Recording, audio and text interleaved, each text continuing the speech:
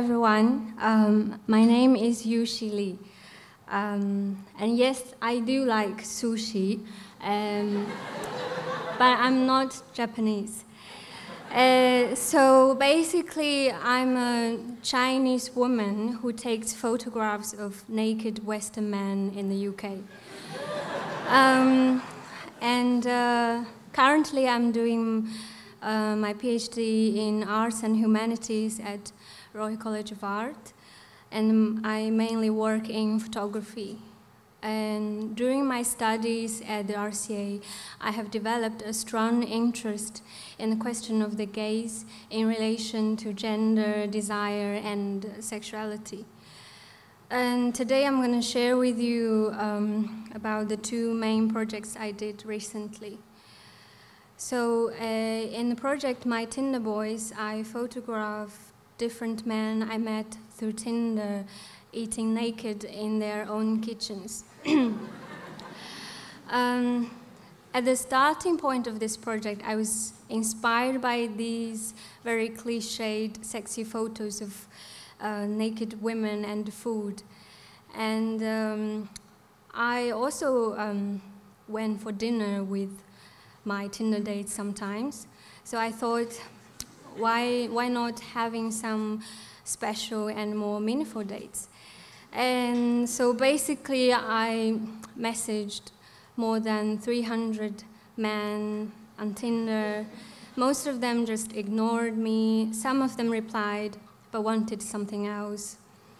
And uh, only 15 of them said yes in the end.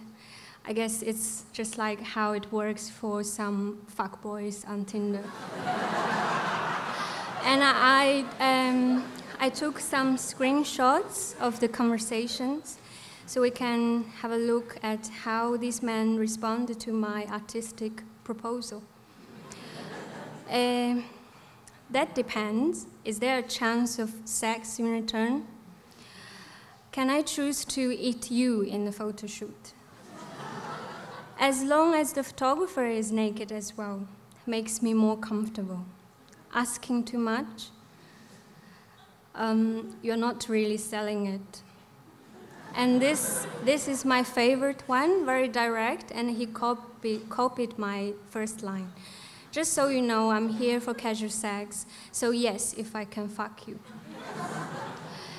And during these unusual days, I was both the violator who tried to invade their private space and also the desired object that participated in their vulnerability it can be seen that there's certain precariousness in the way these men stage themselves for my photographs, which reveals a man's uncertainty in knowing how to be erotic for the camera.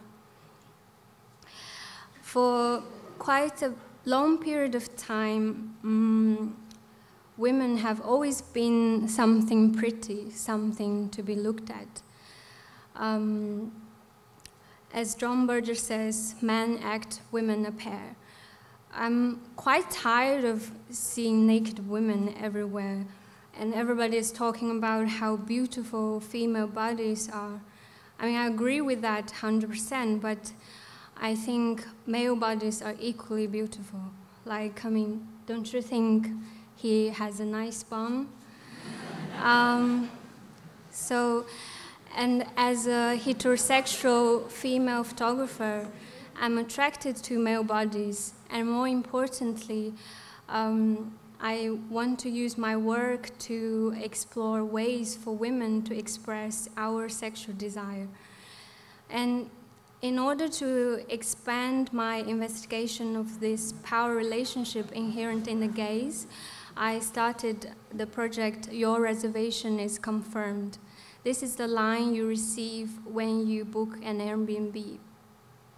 So in this project, I, book, I booked the ideal home via Airbnb, um, booked the ideal man through a life modeling website to construct my ideal images. Um, so I work um, in analog, and this is one of the um, Polaroid tests I did for the shooting. And these are um, handprints made in the darkroom. Um, I think I quite like the contrast between the digital screen and uh, these analog prints. Because, um, like, um, during these photo shoots, I always need to work with the uncertainties and limitations given by the space and the man I book through the internet. You know, sometimes the room is um, too small, the man is not as handsome as the image online. So uh, there's always a gap between um, the, uh, the, the ideal, um, what I want, and the real, what I actually get. So by putting myself in the picture, I try to create a more dynamic relationship between the looked at object, the viewer, and the third party who is looking at the viewer. Um, for me, um, the, the woman in the picture is not really myself, but more like a female figure um, who functions in the same way as the man, the table, and the teacup. So in a way, we are all just props for the, for the image I want to create. Um, I think what attracts me the most is not really the body, but um, the fantasy of being in control. Um, and uh, uh, by the way, this guy it was peeing in the picture. I made two cups of tea for him, and uh, he managed to pee for me twice, which was a really good job. But it didn't, it didn't smell very nice, but you know, um, we did it for art. so, so in a way, um, their nakedness is more than a representation of eroticism, um, and also an, an indicator of my attempt to have the power over them.